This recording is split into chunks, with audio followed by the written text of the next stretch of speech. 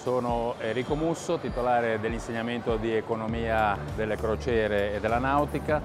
eh, che è un corso degli studenti del Dipartimento di Economia all'interno dei corsi di laurea di economia e management marittimo e portuale. La visita che gli studenti del corso fanno oggi alla nave Costa Diadema,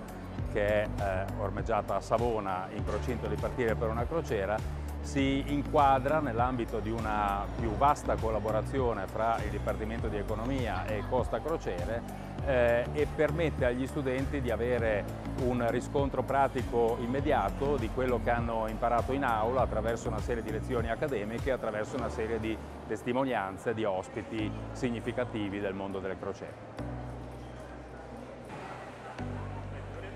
Sono Mirko Vassallo e, e in nome di Costa Crociere siamo davvero felici di aver contribuito anche quest'anno ad avvicinare il mondo accademico al mondo delle crociere, rafforzando sempre di più il rapporto con l'Università di Genova, il Dipartimento di Economia ed il CELI